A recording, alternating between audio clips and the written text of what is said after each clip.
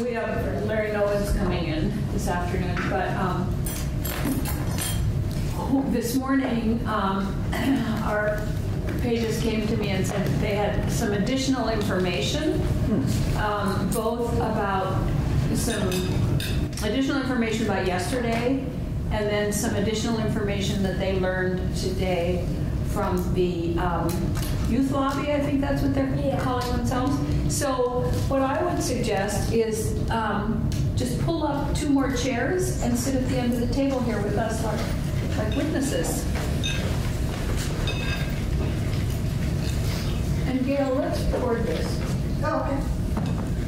Well, the the committee's record, we're um, supposed to record everything so that if somebody wanted to find out We are on the record. when Suze is here, we are on the record. Oh, look, and she even now says that. But then if somebody really wants to know what happened here or here and they couldn't be here, they can ask for the, uh, well, I shouldn't say tape anymore, should I, CD? What do they, ask? whatever they ask for. That's what it is. The copy of it. Yeah, they can, they can have that, so. So, welcome, and once again, um, you've seen this happen so many times, just identify yourselves for the record, and then after that, when, every time you speak, you don't have to identify who you are. So I'm Chip Junong. I'm Nora O'Grady. I'm Addison Pinard. Yep. Okay, so what would you like to tell us today? So, um, well, first an update on the um, Extinction Rebellion. Wait, you know this one? Yeah, yeah. I read a news article, um, and it was about how the terrorism police um, declared that the Extinction Rebellion was an extremist ideology. Where? In Yes, what which country? country? In our country? Um, they're a global organization, I Okay. believe. No, but which group said they were terrorist organization? Um, it wasn't specific, but it said a group of um, terrorism police. So I'm not sure how accurate this article was, but I thought it was interesting enough to sh- update. Yeah. Yeah.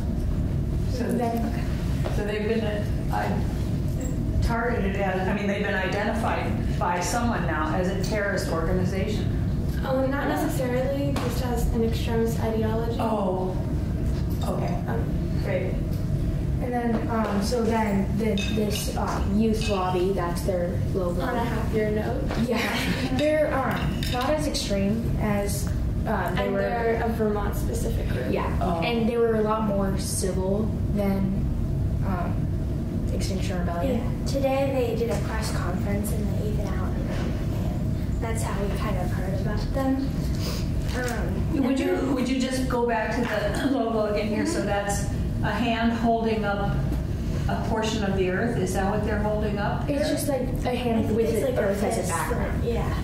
Oh, oh, oh, the- yeah, It's the- oh, I globe, see, yeah. it's the It's globe. Workers Unite Fist. Yeah. Okay, It's labor fist. good, thank you. So then, and then this is their mission. So Their mission is to uh, to help from across Vermont. Real, wait, to help youth from across Vermont realize their truth, their true power to affect significant change through responsible, informed, collective action and civil discourse, and find a and find a way to channel to channel their concerns about their future in a uh, productive way. And then What one kind of discourse did you say? Civil. Yes. Civil, that's what I thought And said. then another, um, one of the members, we asked them, and they, she said, um, we ad. oh, Thank you. She said, we advocate for stronger, this is uh, a quote from one of the members. We advocate for stronger climate action at the Senate level by talking to, at the state level, sorry, by talking to lawmakers and holding um, events to show the urgency of the climate crisis. So did you, did you, I'm sorry. Go I ahead. was just asking, did you go to the press conference? And I was there the entire time, and he was there for part of it. yeah, I was there for the first time. Yeah. And did you go to the youth summit this fall? Um, I went to the climate strike this fall, but I didn't go to the youth summit. Because I went to the youth summit, which was very interesting. It was very impressive to see these young people organizing as well as they did. It was uh, inspiring.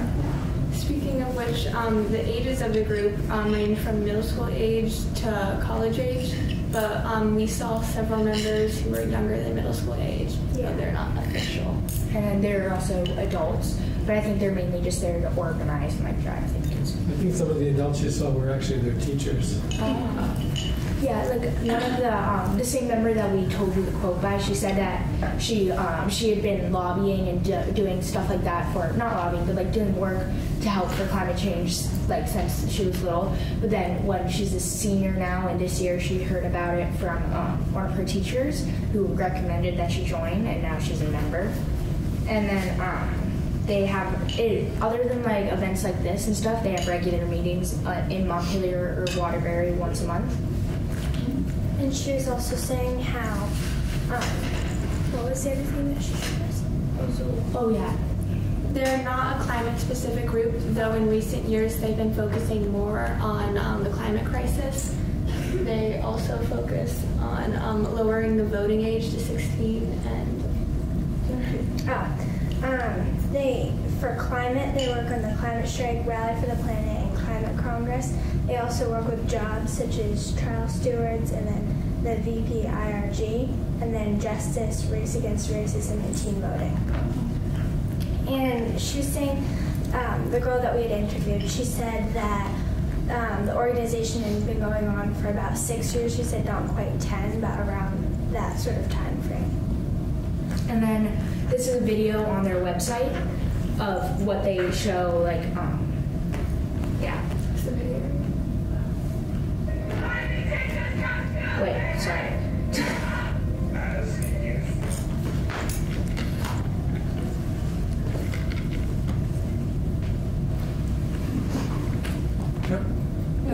Good.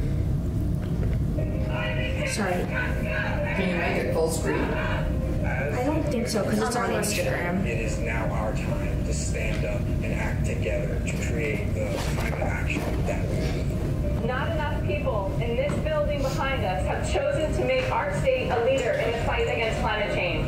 We want Environmental activism is about fighting for solutions to problems that you've been facing your entire life.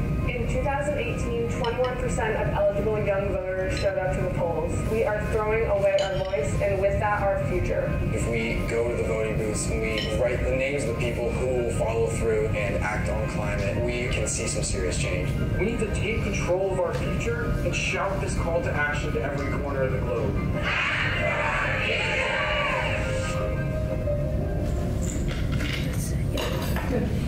Did you, did you ask them, um, because one of the things that you said was that you felt that they were more interested in um, kind of civic, civil discussion and dialogue and actually working with men. Did you ask them about what they, how their response to yesterday's, um, by the Extinction Rebellion, their response to, if they had any feelings about that or what they would have done? Sorry.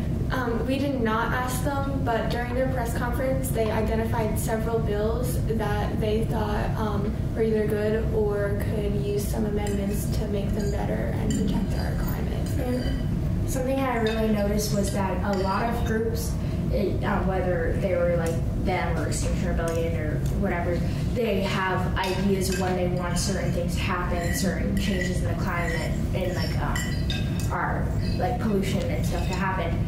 But their timing isn't very realistic. But this group, their timing is extremely realistic of when they think like it's like the timing when they think we can actually get this stuff done makes more sense than some other groups that I've heard, and oh. they put a lot of thought into it, like a lot more than some groups that are mainly adults and they're all kids. Yeah, the approach that they, they're taking is a lot different, I think, than the group that we had seen yesterday because they sort of had planned, like, they came into the um, State House and they had planned out the press conference ahead of time and meeting with certain people so that they knew what they wanted to do and who to talk to to get things done. They were in touch with all of us uh, who have been very involved with their movement and who are involved in committee leadership and asked if they could come into our committees to present their uh, petition. And sadly, their timing wasn't very good in economic development, but it was, I, they, they, they did it in several. They showed up in Senate Agriculture. Good. Yeah. I thought their press conference was really well thought out, and um, they had a lot of really good points. And like, I don't know about you guys, but I recognize people who are in it. Yeah, I did too. I don't think there's actually a chapter for South Burlington or Burlington. So then they have like mini, like almost like like chapters is how they describe them, like mini parts of it in different schools. So there are people from all over the state. Like some some people that I know are in it. Like they're No. And I talked to another girl and she said they're working on expanding to make it more Yeah, statewide. because that we talked to a man who was trying to get more people actually from South Burlington to join because they wanted to get more people from all over. When they have a chapter in, in a school like that, do they have to have a, a teacher that will sponsor the chapter? Is that the way it works, do you know? Um, I don't believe it's necessary to have a teacher. They told me if I was interested, um, I should get a group of people who are interested. And the more people you have, the more necessary it um, is for a teacher to join. Uh-huh. So I think the students come first, and then the um, teacher organizer. So I'm just wondering, you, did you prefer what the, the, the youth lobby did today to what the Extinction Rebellion people did? But, which I got, I got that message. But I'm wondering, do you see a role for both kinds of activities? I mean, Yeah. I mean, do you understand what I'm saying? Like, some people want to do it this way, some people want to do it that way. Is that, do you sort of see a, is that a useful thing to think about? Or is we just say no to the people we don't want to hear from? I think. Oh, go ahead. I I think we should listen to everyone, but I really, I think what was done today was more productive. Um, they told us they were coming every Friday in the session, so they also have resilience like the other group tried to show, but this is more thought out and it's planned. So I just think it was better executed. And like I feel like they're trying to work with the politicians and with all the people in the government. Um, and I think Extinction was Rebellion was looking at them more of an enemy, not as like a, a partner to get stuff done. Very well said. Yeah. So I'm curious, because I, for many years, have worked in the media. You were all here when the event happened yesterday. And then I don't know whether you bothered to see television reports about it or read uh, newspaper articles about it. How well do you think the media did covering what you saw? A lot of times, someone will see something and have form an opinion, and then they'll read about that in a paper later or see it on TV and go, well, that wasn't really what happened. So I'm curious whether it was portrayed the right way on, on the state's media. If you maybe didn't watch it, I don't know. Well, I know after we um, left to take like a break while they were removing the protesters, um, I think a bunch of us just formed around to see if, what was happening while we were gone. And um, the most accurate thing was obviously the videos that they had had of what happened. But um, we did listen into the VPR, or I did with a couple of people, and I think that was nice because you could actually hear what the people in there were watching, and they were sort of describing it to you. I didn't physically read an article, so I don't know if that person sort of. Sometimes when you summarize things, it's harder to get Yeah. everything out, and so I think one thing that they did well was when, with the VPR. I thought they did a good job describing it. Because they just stream it, right? So Right, you, yeah. instead of telling you what's happening, they're just showing it Yeah. to you. Right. You can decide for yourself kind of what's happening. Yes, people who were on the feed were hearing the whole thing. Right. Right. But they also then summarized on the news what had happened and had sound clips also. And I, I, I saw the CAX uh, coverage last night, late last night, which uh, sadly ended up being more about the protest than the speech, I was just going to make That's that point. had. which was, which was from their point of view very successful. Right. I, I- you know, if, if, if something that is about something else ends up being about this other thing that get, hijacks it, Right. then that was a very successful dis, dis, disturbance. Right. Right. So, from a media point of view, to go to Brian's point, it was a, for the rest of Vermont. They what did they learn? They learned there was a disruption and that the governor's speech was disrupted for 20 minutes. Wait, last night I watched it on the news after, and like, like you said, like they didn't really, and I think they should have kept, like they should have talked about the beginning of the speech. They talked about when that happened, And then like when they're done talking about the like nothing else that had to do with that really happened after the protest. So they should have been finished with talking about the protest and then continue talking about the points of the speech because like they don't want it like they because then like the protesters don't care if they get kicked out or anything. They want to get they want everyone to understand their message. So they should have kept going along with like the um, with what the speech was about.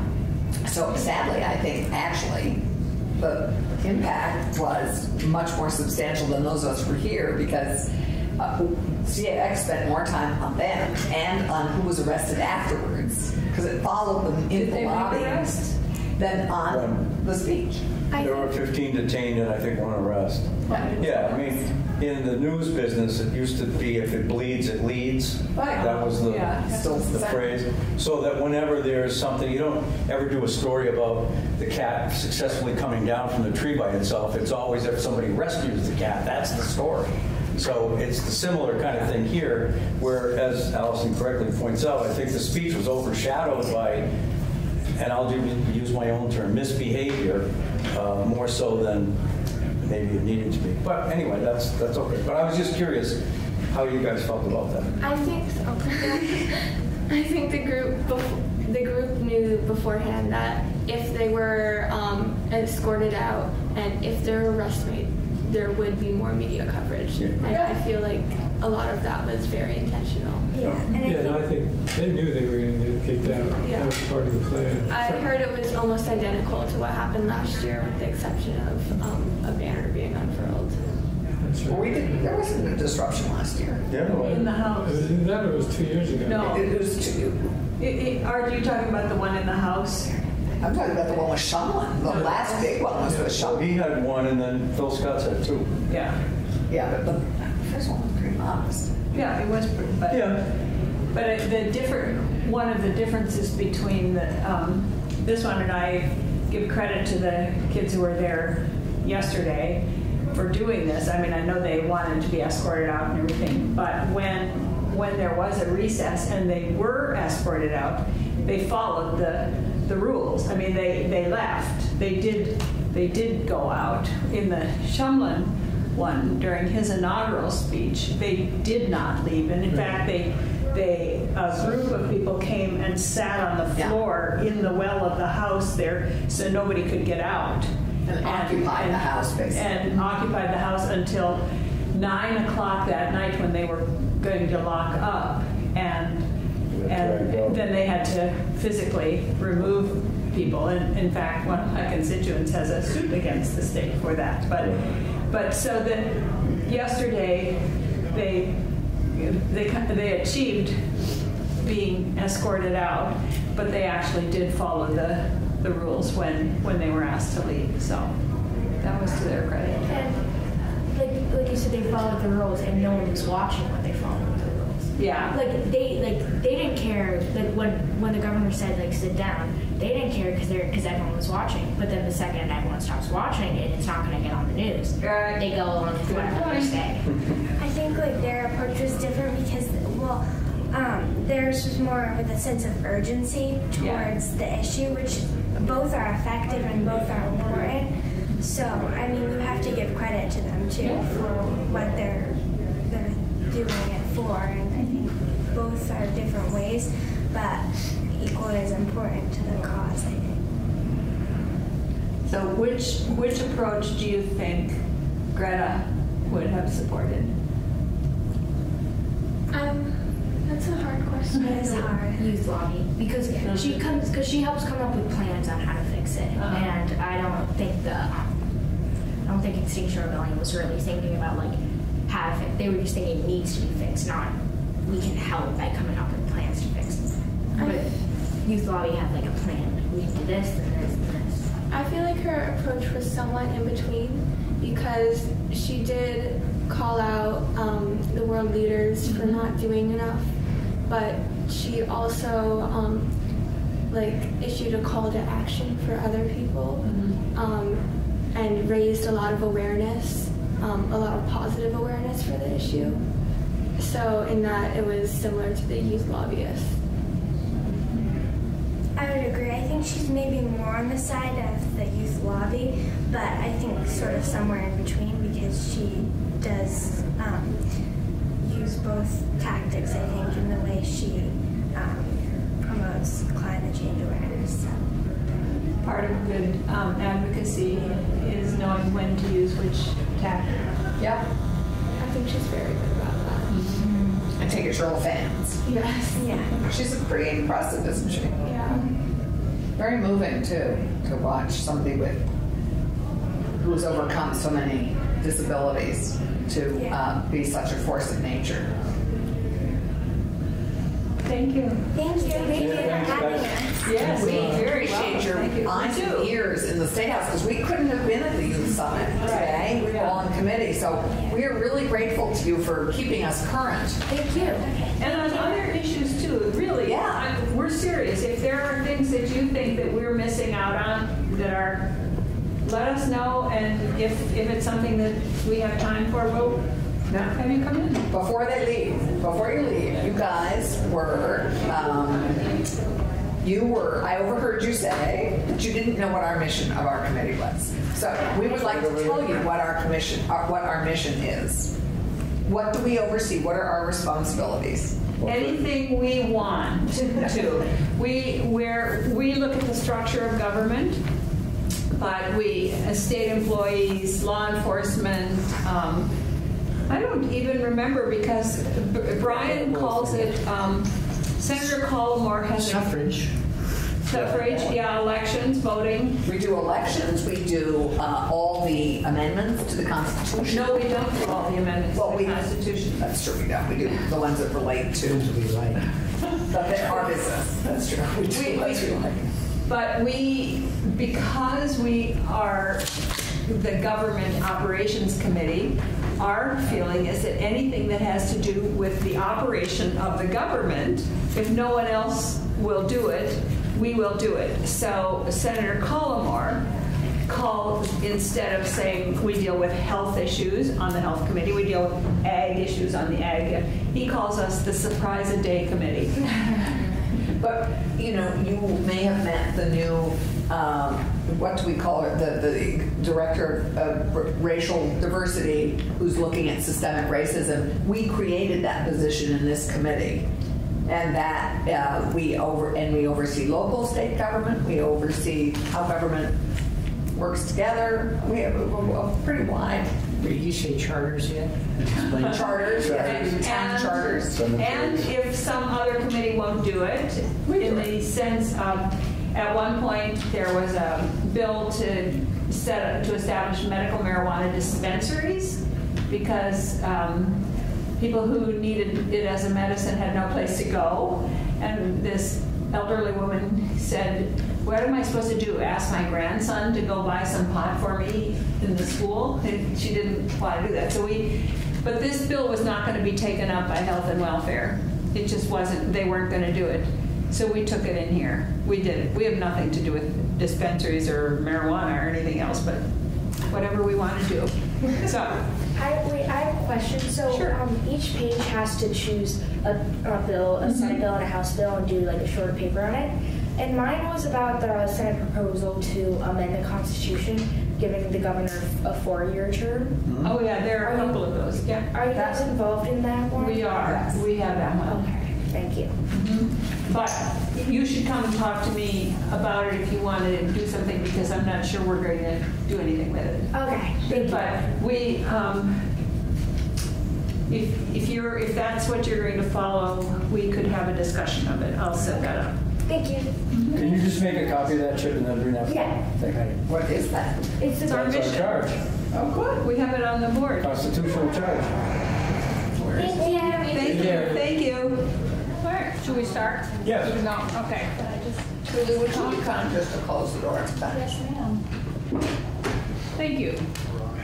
So, um, so we're, we just want to have a general conversation. We know that, um, and we're going to have, I believe, next week, we're going to actually take up the, the two bills that we currently have in here on the Ethics Commission.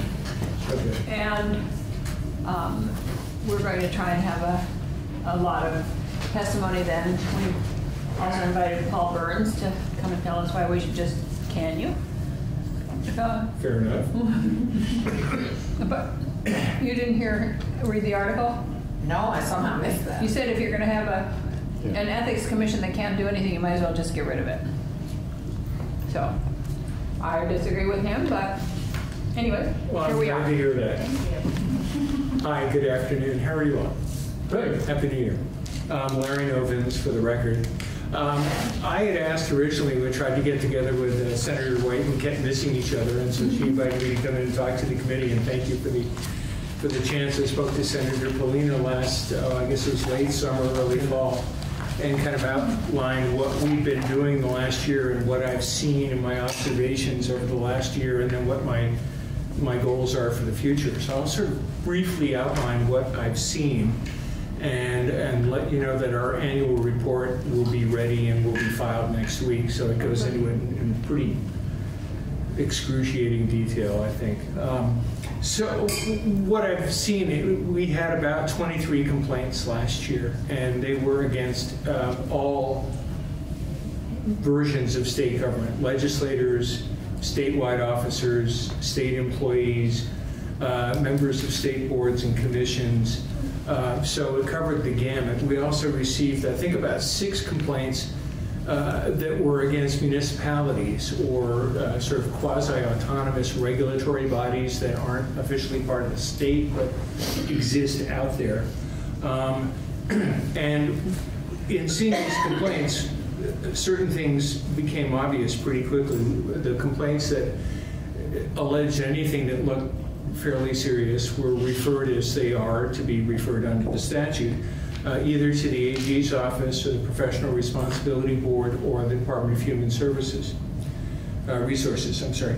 And uh, we had one complaint against, uh, uh, it was a municipal, member of the municipal, I'm sorry, judicial branch, but that person had since left, um, so it didn't make any sense to refer that. Um, What I found out is when we get a complaint, if we were to get a complaint against the governor, the lieutenant governor, secretary of state, auditor of accounts, attorney general, or treasurer, the only place under the statute where we can send those is if it's criminal conduct to the AG's office. And if it's anything regulated by law, then we'd send it over to Department of Human Resources, who would look at it and investigate it and send us a letter back saying, we have no authority over those people. So there's no, there's no oversight over those, over those people and, and uh, six people in government who arguably have the most responsibility and the most authority. So that was a surprise to me. So the statewide office holders. Statewide office holders. And then um, we had, I think, one or two complaints against uh, state boards or commissions. And right now, there are 180, I think, according to the governor's website. I counted 175. Their website this afternoon said 180 boards and commissions. If we were to get a complaint against uh, the parole board, or the natural resources board, or the medical practice board, or the uh, public utilities commission, human services board, we would take those complaints, send them over to DHR, which is the only place they could go unless it was criminal conduct. And they would look at it, review it, compare it to what they have, and then send it back to us, and they'd say, those people aren't state employees. We have no authority over them.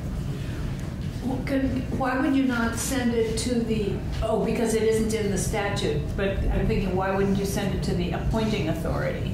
Because it's not Because it's not in the Right. statute. Got it. And so the appointing authority for all the boards and commissions is the governor, um, for most of them, anyway. And under the, the, the code that applies to them, the, whatever the equivalent of an ethics code that applies to them, is the governor's executive order, uh, which doesn't have the force of law. It's an executive order, could be modified or changed at any time. And according to its own terms, the person who enforces that is the governor.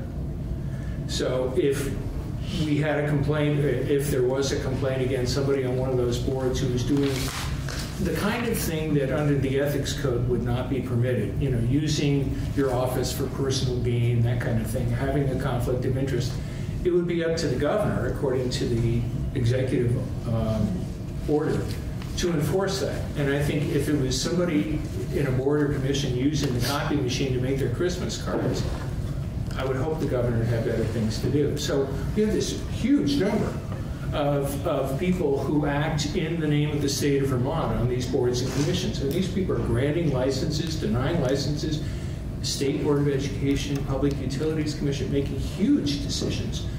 And there's really no oversight for them and no place to go for ethical complaints. That was another thing we, we found out this year. Um, one of the other problems that we have is under the current statute, it says that we are to accept complaints about government ethics in any of the three branches of government. And then the other part of the statute says, well, what do you do with these complaints? It says we can refer complaints um, that are violations of the Department of Human Resources Code of Ethics, which there really isn't one, we've put in in our proposed bill to fix that. It's really a policies and procedures manual. Um, but apart from those violations, the only thing we can refer to DHR is conduct or violations of conduct regulated by law. So unless there's a specific statute that's violated by somebody's unethical conduct, I can't refer that. So if I got the complaint about somebody using public office for their own personal benefit, unless there's a statute proscribing that conduct, I can't refer. Um, so there are huge gaps in terms of what is considered to be ethical or unethical conduct in Vermont and what can actually be referred from our office to other people for enforcement. And then there's the third part, which is the limitations that DH, uh, Department of Human Resources has in terms of what they can and cannot enforce. They cannot enforce our ethics code. Our ethics code was, as you know, adopted by the commission in consultation with the department. Um, so it's essentially people sitting around a table about this big and coming up with a code, uh, which is, I think, a good code, and I think it could, it should be the model for a, you know, a statutory code of ethics. But it doesn't have the force of law, and it can't be enforced. So that's another problem. If we said we have a violation of our code and we set it over DHR, DHR they'd say we can't enforce that. Uh, assuming that the person who was complained against, the subject of the complaint, was someone under their jurisdiction, somebody that they had authority to do something with. If we get complaints against lawyers, we have to refer those to the Professional Responsibility Board. And we've referred a couple complaints to them, and they don't have authority to discipline lawyers for violations of the state ethics code. They can sanction lawyers for violations of rules of professional uh, responsibility, which are in many ways narrower. So it would be a violation for me to use my position as a state employee for my own personal gain. It wouldn't be a violation of the ethics rules that the lawyers are bound by. And if they saw that complaint, they would say, there's nothing we can do about this. It's not a violation of our code. So a lot of the kind of conduct that one would normally think it should be an ethics concern or an ethics violation, even if it is referred to somebody else, isn't within their jurisdiction. So we have huge gaping holes yeah. in what we have. Um, so it took me probably about three or four months to really appreciate the, the gravity of the situation. I mean, really, we have uh, an ethics code and ethics oversight in Vermont that, here's the way I like to put it, it leaves us lots of room for growth. uh, there's, there's plenty we can do to make it better. Um, and, and so our hope and our, my goal uh, and the commission's goal for the future is to say, okay, what do we do with this? You know, we get municipal complaints, and we've got some serious ones that we can't do anything about. The Secretary of State's office, under Act 79, 79, 179, is supposed to report to us about the complaints they, they and they, they wrote to us, and we have a brief outline of that in our annual report. They get lots of, of complaints. There's a lot of serious stuff going on that is going unaddressed, and at this time, I'm not saying give us authority to, to look at those things. I've seen a couple of those complaints, and the resources it would take to fully investigate them and figure out what to do with them is way beyond certainly beyond where we are now and beyond where we might conceivably, conceivably be in the near future. Um, So that's, that's another issue for us. So what we've done is we've sort of come up with a three-stage plan of what I think is a good approach to trying to fix this and make ethics oversight in Vermont meaningful.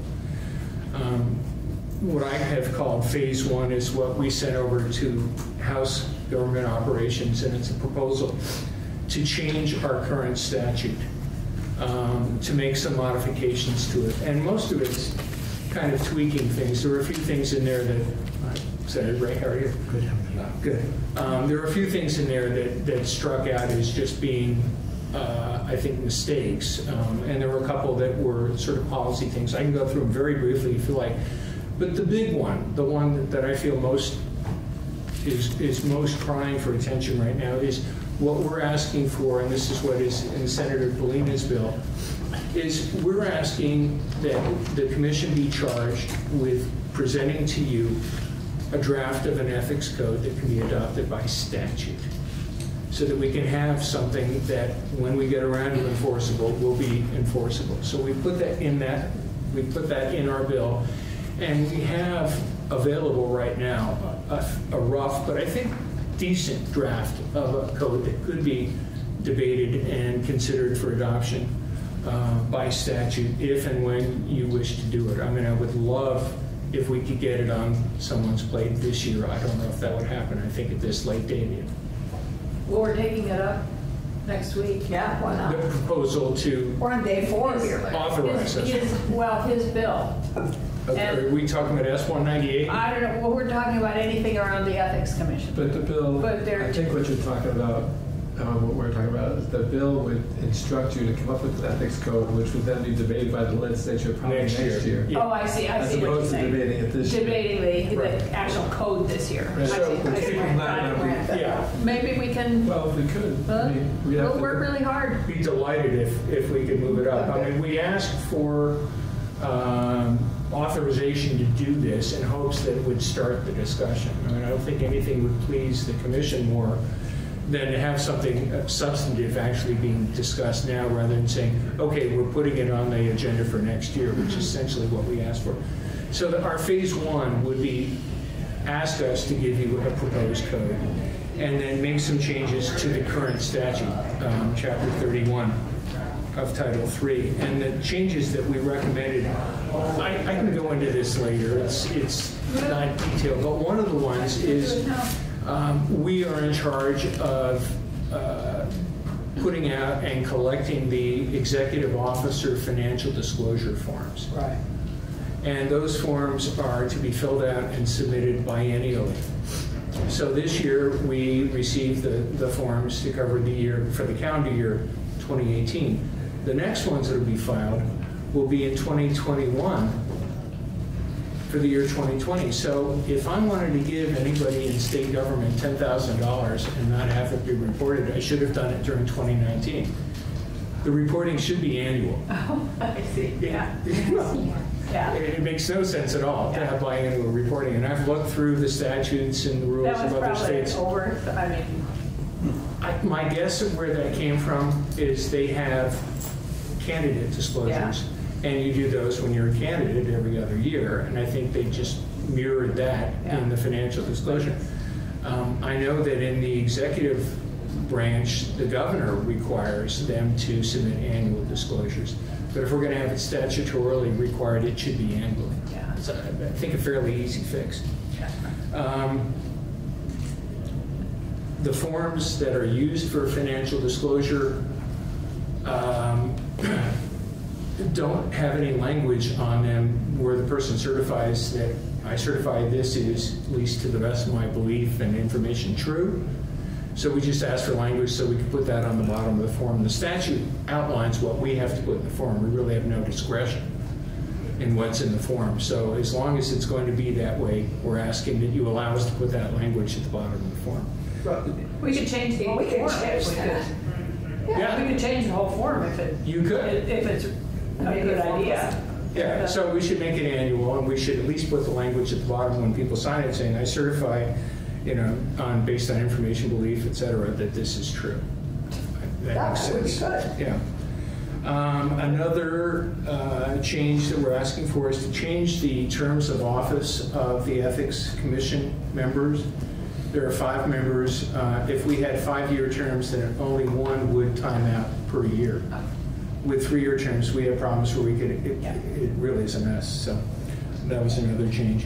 Um, Another change, um, of course, what was in the news last year was the advisory opinion. Um, And the commission changed its policy on advisory commissions in May um, in, in light of what we'd heard that the legislature and the reaction to the advisory opinion that was issued in 2018.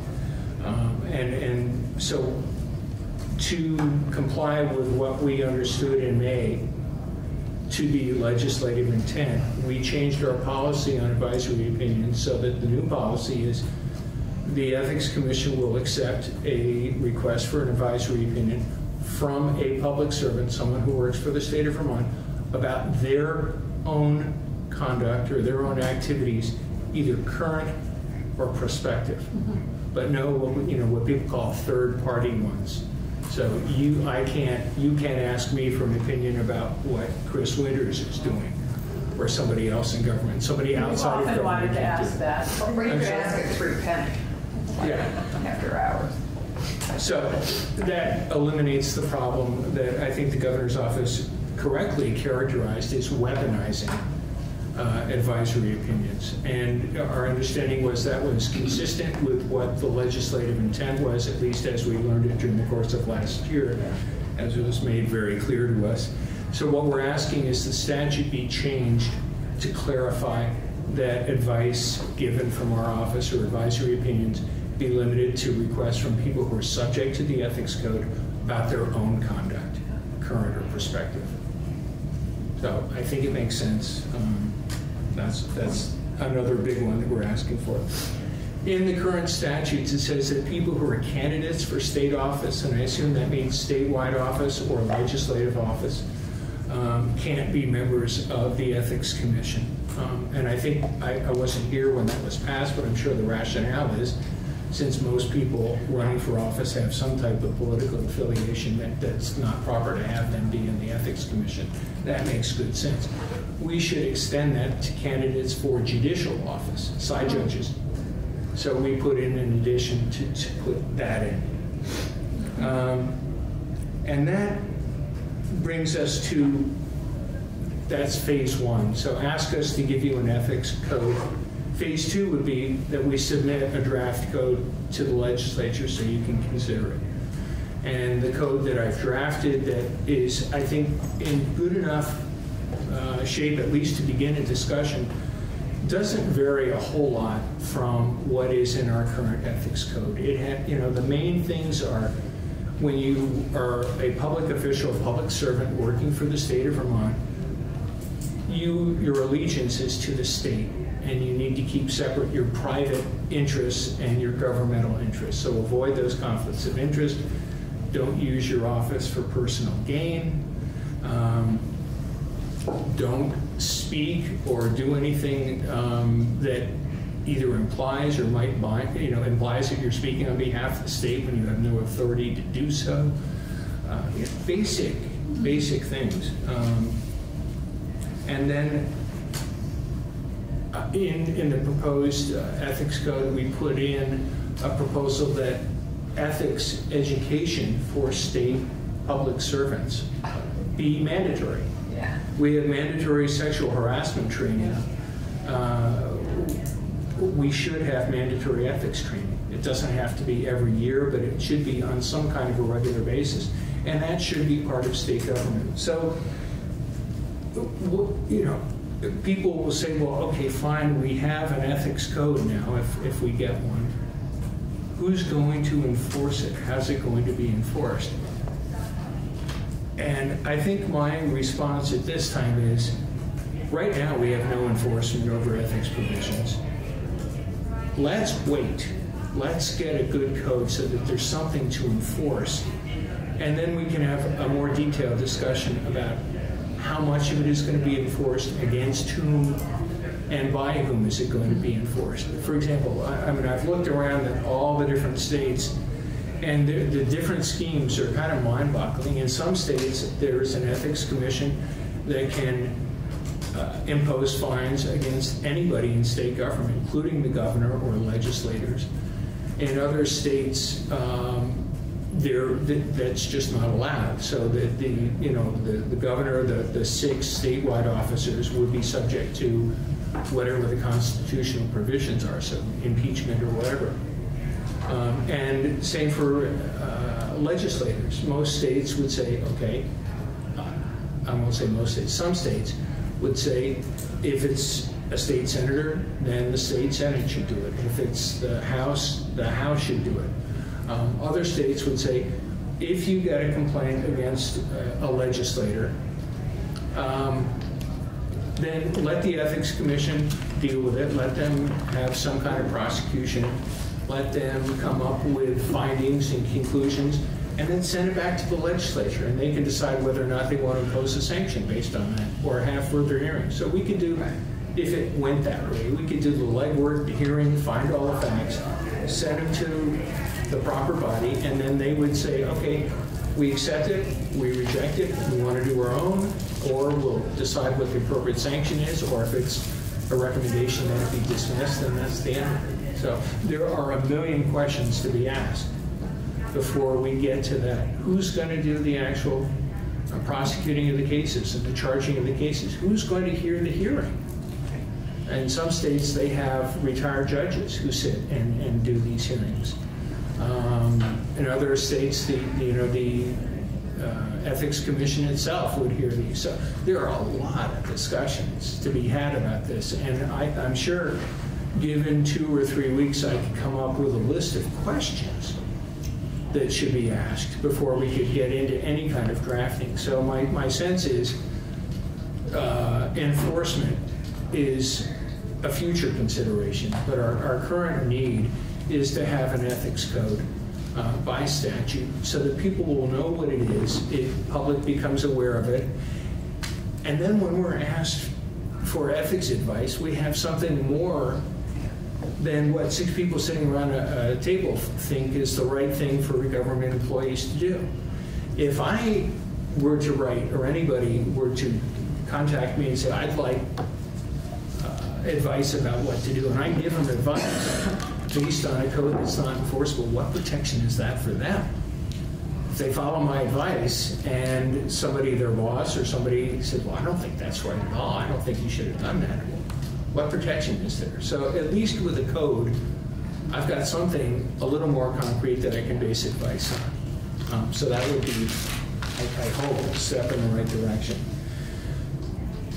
So phase two is to give you a draft of a code that you can discuss and hopefully pass. And then phase three, down the road, would be, okay, to what extent do we want to enforce this and who's going to do it? And right now, you know, I, I'd be happy with phase two. I'd be happy to have a code that we can work with. Um, what do we do in the meantime? Where are we going and what do we say to our constituents, you know, Vermonters who look to us all the time? I think the sort of fundamental challenge that anybody in state government has that efficient and state government with integrity has or needs is we need the trust of the people we serve. And I think having an ethics code would go a long step towards raising awareness of ethics in state government and in the public so that they have a better sense, okay, here's what the people who are working for me are doing and are serious about doing. You know, somebody said, was that a partisan issue? You know, are you talking about more government or less government? And I don't think it's more government. I think if you're a person who distrusts government, then an ethics code would be a good thing to have. If you're a person who thinks that government should be a little more involved in things, then ethics code is something you should have. So I hope it's nonpartisan rather than bipartisan. Um, where does that leave the ethics code or the ethics commission? I think what we would like to do is to work and devote our primary attention to ethics awareness and education. If we can do that, I think we can decrease the number of complaints that we get. We can raise consciousness among public servants and among the people we serve of ethics. I think we can promote confidence that the government is working for us and not for themselves. Um, and I think that's sort of a win-win for everyone. Um, so that's not very brief, but that's sort of my summary of what we've been up to the last few months and where we would like to go. Um, is it perfect? No.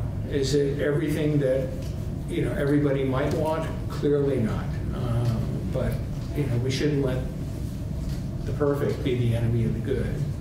And if it's a step in the right direction, I think that's better than doing nothing. And so, no matter what you think of the Ethics Commission, whether we have done anything or do do anything or can't do anything or not, at least I think we've been in a unique position to diagnose what the needs are in the state. Um, and so I feel very uh, pleased that we're able to come up with, with a, think, a reasonable plan. And, you know, I am perfectly happy to, to change it. You know, I don't have any sort of pride of ownership in this. If people have a different way or another way of looking at it, I'm all ears and be happy to do it. But I, I think we have an obligation to do something to make what we have more meaningful. So, to channel my father, a problem clearly stated is a problem half solved. So you have clearly identified some of the problems we need to solve. And at least that gives us a, a, a roadmap. I'm just, before we address the things that, I'm just curious of, of the 23, I think this has been great. I think your testimony was terrific for us and very helpful.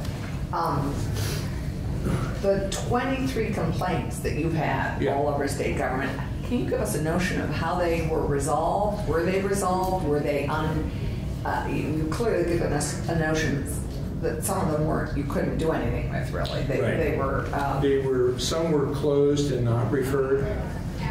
right. Um, how many were actually were? How many? I think there were six that were actually referred for further investigation, discipline, sanction, whatever that would be.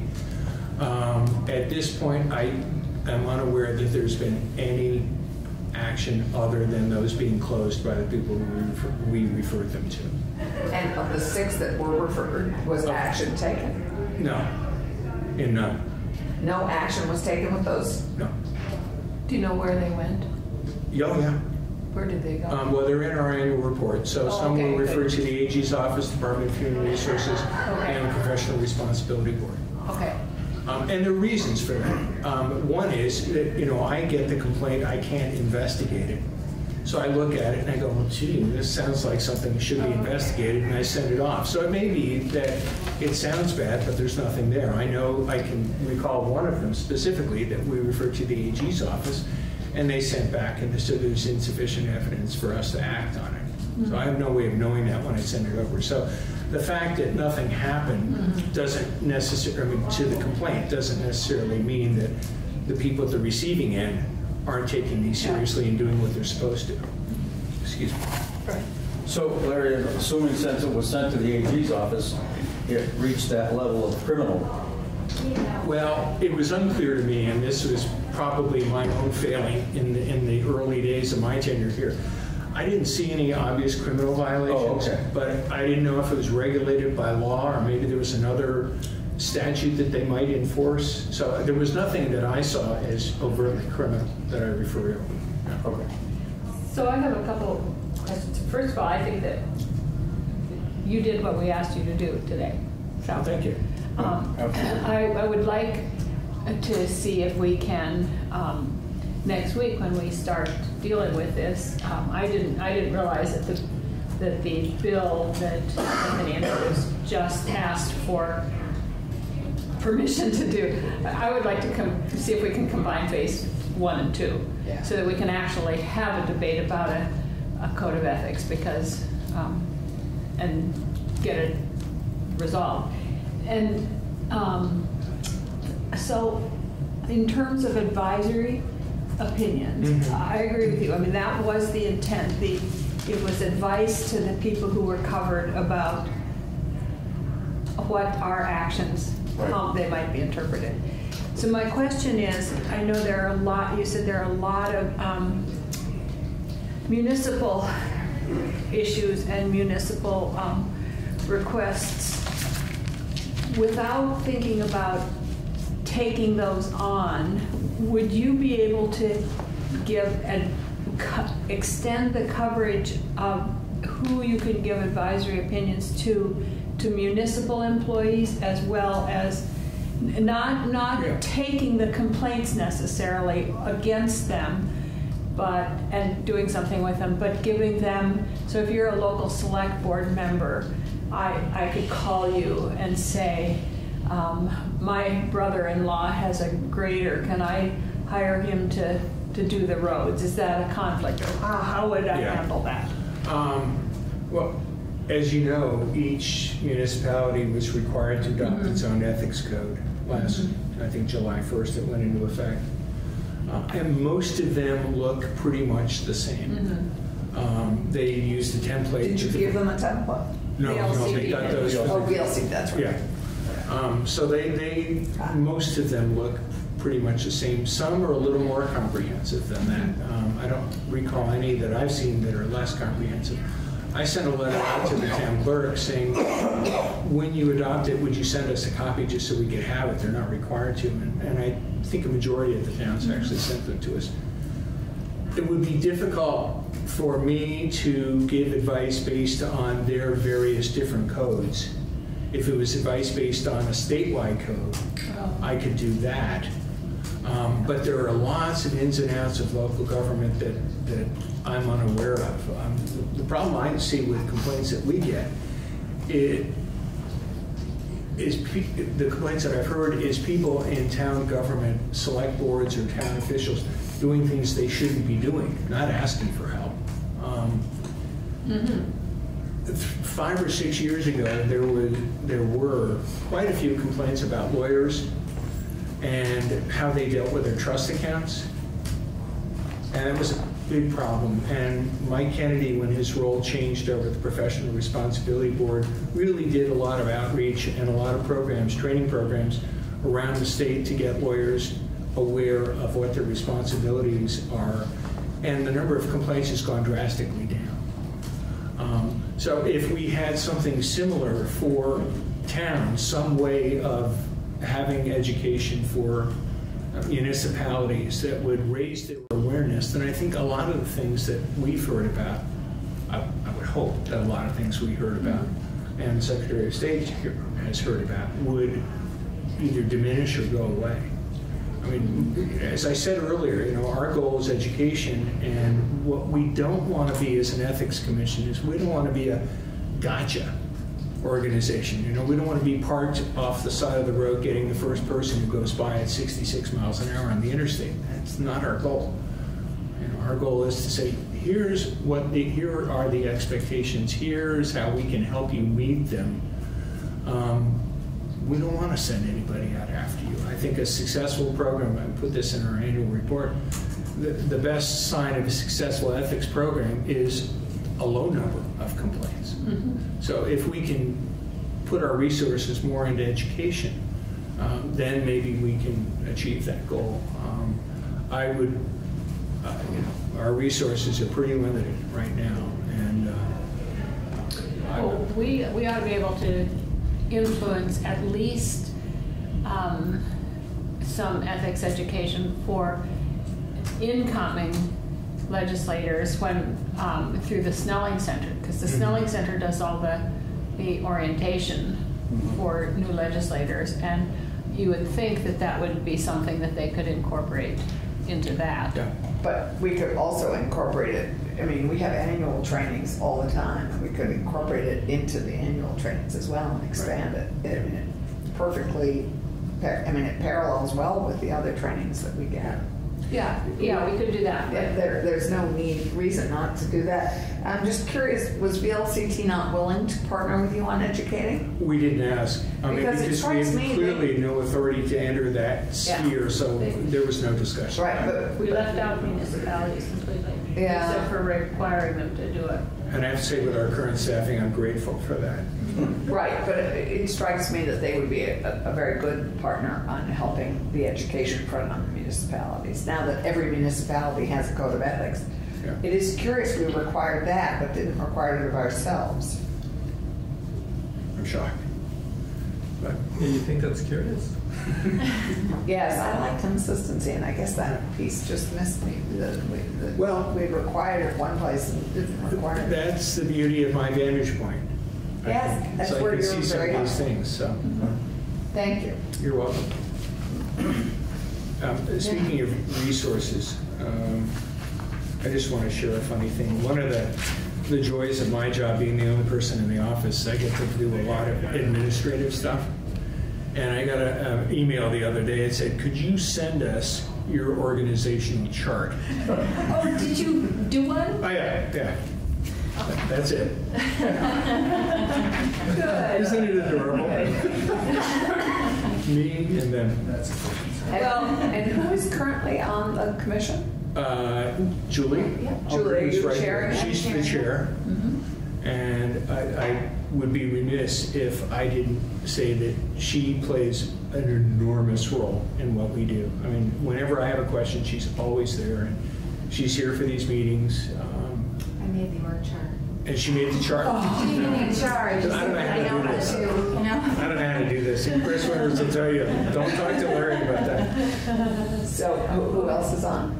Uh, let's see, Paul Erlbaum, who's from East Montpelier. Um, Sarah Biolsi Banjo, who's from, she's an attorney from Brattleboro.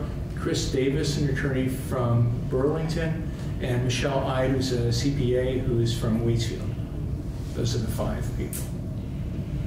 So I just have to say that I, when this came out about how terrible we were, the state of Vermont, I went into the, the report mm. and I went into all the questions that they asked and why we came up with things. And it was one of those things where it, it made my blood boil a little bit because some of the questions were really didn't pertain to us, I, I believe. And they, there were questions like, what, how many fines have you imposed? So if you hadn't imposed many fines, you got a low mark. What was the biggest fine that you imposed? And they, they had fines in there like fifteen thousand dollars or fifty thousand dollars or something. Well, we hadn't imposed any fines, so we got a low mark. And it covered a three-year period of time. So, so we didn't even have, we didn't have any grades for those. So I tend not to trust any of those reports that come out. And, and I, I don't trust the ones that come out on um, uh, openness and uh, policies that the sunshine report that comes out from the in I think it's February the sunshine report that comes out from the um, the pre- the big press association the because they ask questions like do you have a policy about nepotism for your legislative staff well, no, we don't have a policy because we don't have legislative staff. Thank you. I mean, individual staff. But we get an F on that question because we don't have a policy. So uh, I tend to think that we should just pay attention to what it is that we need and how we can address it here and just forget about all those horrible reports that come out about us. That's my speech for the day. Oh, I agree. I mean, I think what's important is what we think. And if mm-hmm. we see a need to uh, make things better, then we should jump on it. I mean, what I like about the mm-hmm. idea, if we can talk about an ethics code this year, I mean, it's 2020, and you can't turn on the TV or the radio without hearing about ethics mm-hmm. somewhere. And this, to me, is the ideal time to, Maybe to grasp an this. ethics code for this national government. Well, the- And the for big- probably is. national office. And you know who ranks really high on some of this stuff? New Jersey. I remember. Rhode Island, Rhode Island. Oh, Illinois. that's because they're all in jail in Rhode Well, Island. it- the They're reason they have such extensive codes is because they've had to react to so many different kinds of, Right. Of uh, scandals. And- But they still are. I mean, Yeah, my brother keeps sending me all. Illinois. Yeah. Every time an Illinois state senator gets indicted on something, I get a, I get a copy of that article. It's Yeah, cultural. What's happening here? It's cultural. One of the things that I read recently that I thought was really interesting is they were talking about if you have ethics, you know, viewed with importance at the local level, it tends to trickle up. Yeah. That people who you know serve in the legislature, many of them started serving in local bodies or you know regional bodies, and then they come up. So if we are eventually able to have a culture of ethics awareness and compliance at the local level, it really does filter up. And if people see their representatives, the ones they see every day at home in their towns, behaving ethical, and they trust them, then they're going to trust other people as they go along. So it's win-win. And the other advantage of having an ethics code, at least at this point in this proposal, is it doesn't cost a penny to do it. Right. So Well, we like to pass things that don't cost money. I, I thought you might find that intriguing. And that have big impact. Yeah. Right. Larry, I have another question. I'm not sure I'm going to phrase it very well, but if you could characterize, because up till this point, you're the only, well, maybe not the only one that's seen the 23 complaints. Mhm. How many of them, or what percentage of them are kind of like brain dead? Anybody should have known that that just wasn't a proper or appropriate sort of action. And how many were, oh gosh, I missed the deadline for filing that form by three days, and technically that's an ethics violation, but you know what I'm saying? Yeah, there were no technical violations. Okay. I didn't see any of those. Uh, So nobody said, my person, my guy didn't do this on time. Um, Some of the, I think one of the misconceptions that that some people have is they believe that anybody, anytime somebody isn't doing their job correctly, that it's unethical. Right. And, and that's a matter of awareness that, you know, if somebody is performing poorly, that isn't necessarily an ethics code violation, that's a different thing. So there were some cases that involved that. There were some legitimate uh, concerns and complaints about conflicts of interest. Um, Okay. And, you know, and the problem with conflicts of interest is there are some that are just absolutely obvious on their face and others that aren't. And there's always a line in the middle someplace, and the question is where does a particular conduct fall? So there were complaints about that as well. Um, so they were kind of across the board. Um, But people get, I mean, conflict of interest, people really get that, and it really rubs, you know. But I- some a conflict of interest is pretty, Yeah. like if I, if, if I were to testify or introduce or vote on a bill that had to do with housing, is that a conflict of interest for me? I don't know, I work for a housing organization. Yeah. I, I wouldn't stand to benefit by it, but it is, is that a con, no, No, I- and I- and I- no, but I think some people would think that's a conflict, so Yeah, I I don't think think it it's is. black or white. I think I don't there's think some so gray either. area there. I- Well, I think there's there's lots gray, and but I think of people think they understand when they see conflict of interest. I think they feel that they see it. And so to Larry's earlier point, I guess my, the, the thrust of my question was, if we are able to enact a really good educational response to what you saw in those 23, how many of those would be cleared up and people would go, oh, gosh, I didn't realize that I shouldn't have been, that kind of thing? Yeah. Or how many is, hey, I'm going to give you cash under the table, nobody needs to know? I mean, everybody understands that's not right. I haven't seen those, um, which is good. Uh, the ones that were most troubling were uh, where there was a perceived conflict of interest, um, at least to the complainant, there was a conflict of interest. Um, other people might agree or disagree, and there, there's a huge area. And I know that with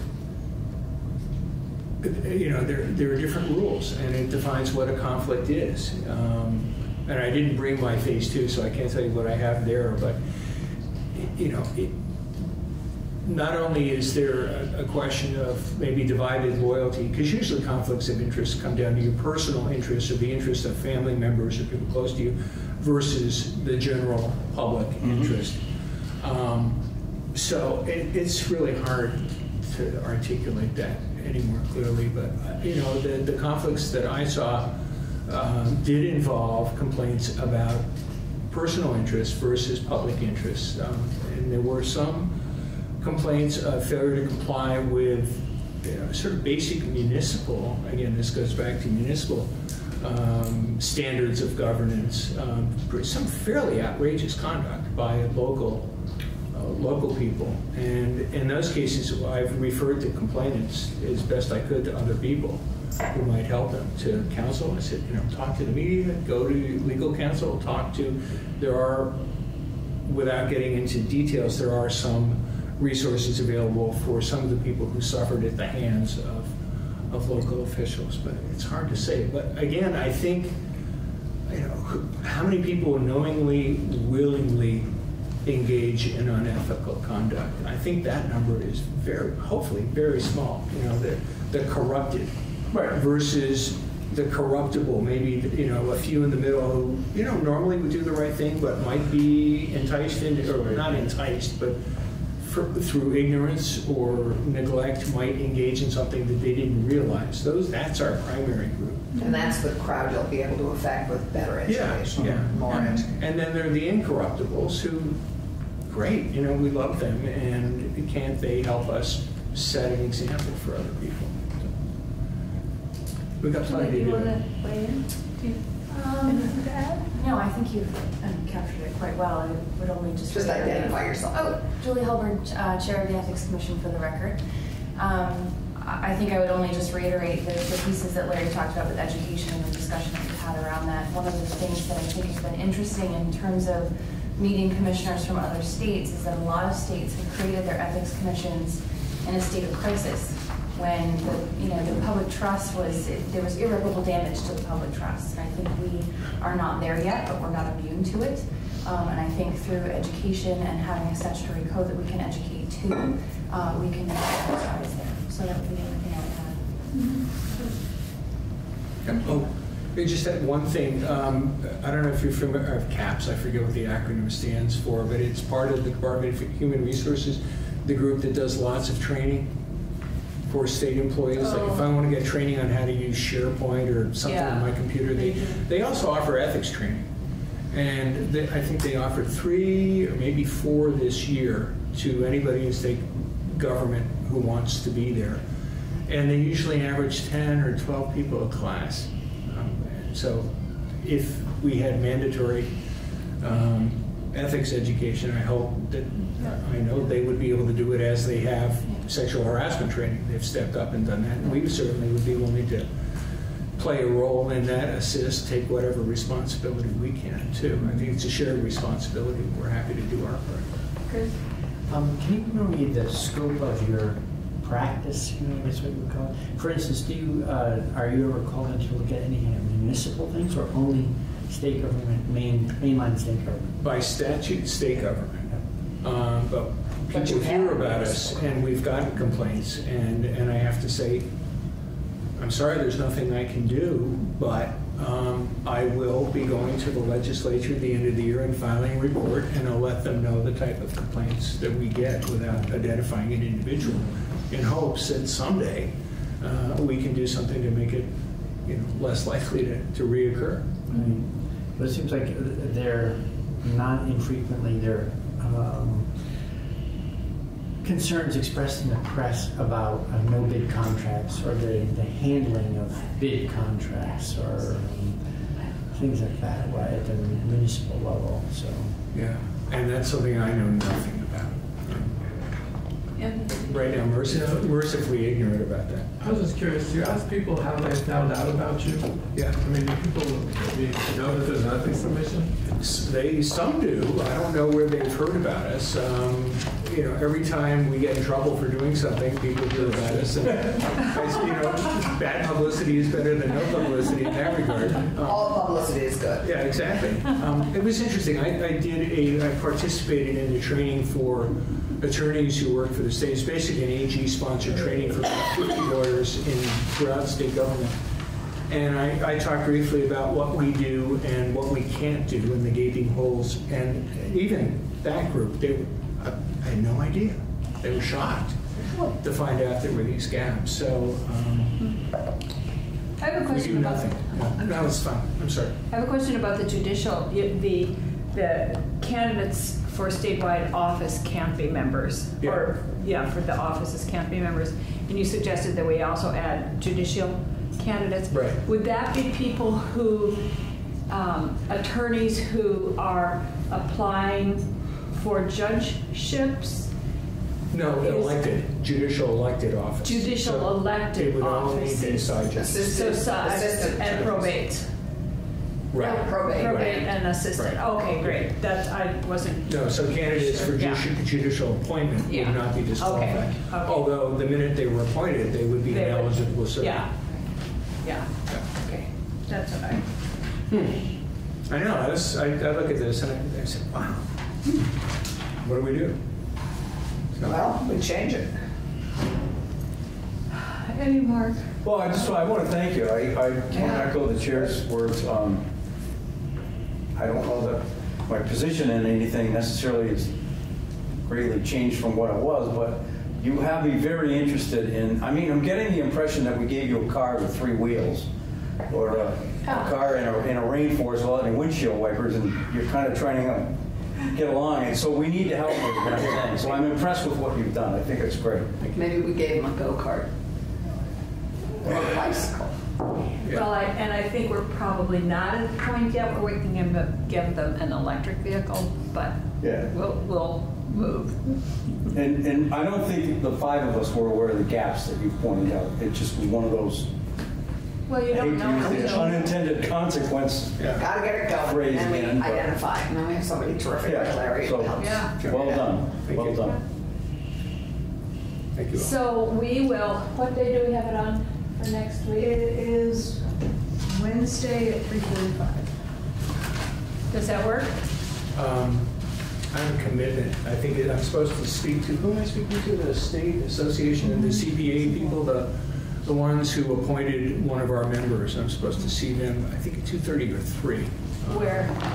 Across the street. Oh, Capital okay. Plaza. Oh, then can you come over afterwards? Sure. You I'll I'll see what it is. I think come Okay. over Or earlier or later, whatever. I will not be here that day, that's fine. Yeah. But we can, we can start the discussion anyway. And we have your points here and we, you'll have our annual, annual report by then also. and will you have uh, a working draft of a potential, um, understanding that it really is a working draft? Oh, it's of very the much a working ethics draft, yeah. Code, so that we can start even Work on it. looking at that, and Yeah. looking at Anthony's bills and getting testimony from. We'll Sure. take a lot of testimony that day. As long as you understand, you may have me over Yeah. my 20 hours this week. But we will. We What's your overtime arrangement? I'm an exempt employee. This is weird. I, I don't know how it works. Um, you know, I have to fill out timesheets, and a couple times I fill them out. Yeah, I don't know why. That's and, crazy. Uh, everybody does. Everybody, And when I've written more than 40 hours for the pay period, a couple times I've gotten more pay. And then they said, no, you shouldn't do that anymore. You should just write hours over whatever the schedule is. So I do that, and I said, well, where does that go? And they said, well, you get comp time at some place. And I said, when am I going to use it? I can't get my job done in my 20 hours now. What the hell am I going to do with comp time? That's crazy. This, it all has to do with the Fair Labor Relations Act. Yeah. And, and when exempt employees fill out their um, time cards, when I work in a- as an exempt employee, I fill it out eight to five, eight hours every day, eight hours every day. If I worked three hours or if I worked 17 hours that day, eight hours every day.